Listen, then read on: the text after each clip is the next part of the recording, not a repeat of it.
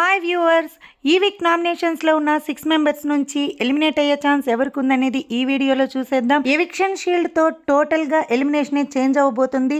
Expect the unexpected జరిగే chances అయితే ఎక్కువగా ఉన్నాయి. ఇక ఓవరాల్గా అన్అఫిషియల్ పోల్స్ ఓటింగ్ని బట్టి చూసినట్లయితే గౌతమ్ కృష్ణ టాప్ వన్ ప్లేస్లో అయితే దూసుకుపోతూనే ఉన్నాడు.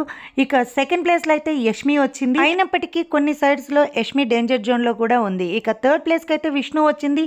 విష్ణు కూడా డేంజర్ జోన్లోనే ఉంది. ఇక పృథ్వీ అయితే ఫోర్త్ ప్లేస్లో ఉన్నాడు. టేస్టీ తేజ ఫిఫ్త్ ప్లేస్లో ఉన్నాడు. అయితే పృథ్వీకి టేస్టీ తేజకి సేమ్ ఓటింగ్ అనేది జరుగుతూ ఉంది.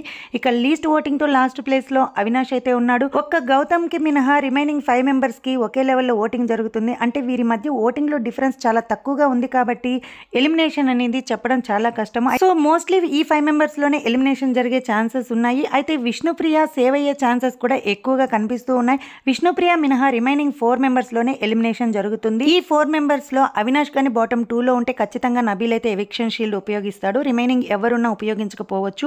మీ ఒపీనియన్ కూడా కమెంట్ సెక్షన్లో షేర్ చేయండి. అవినాష్ని చూస్తుంటే హౌస్లోకి వచ్చేటప్పుడే నక్కతోక తొక్కు వచ్చినట్టు కనిపిస్తూ ఉంది. ఎందుకనంటే తను ఇప్పటి వరకు నామినేషన్లో లేడు.